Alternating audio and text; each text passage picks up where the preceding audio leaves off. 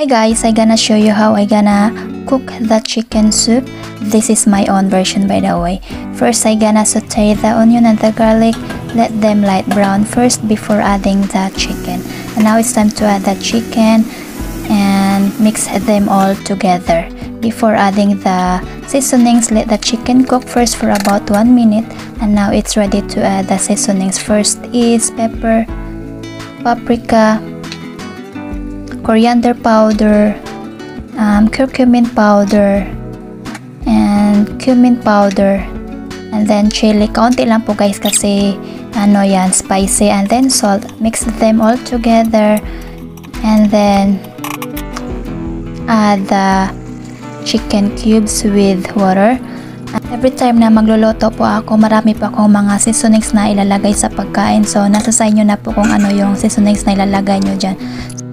It has been boiling now, so it's time to add the carrots.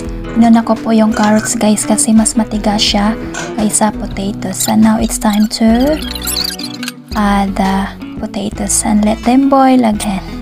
After this, add the lentil. Pabalik-balik lang po ito guys. Ayan. And after this, let them boil again. Ayan. And then, titikman ko po ito guys kung sakto na ba yung lasa. Pag hindi enough yung lasa, lagyan nyo ng ano, seasonings. Ayan, nilagyan ko ng asin. And then, last but not the least, nilagyan ko ng herbs, which is parsley. Ito guys, luto na po ito. So, this is ready to serve. Ayan. This is delicious and healthy. You are welcome to follow my recipe guys if you like it. And the side dish is garlic bread. Ayan. So, thanks for watching guys. God bless you all. Adebra.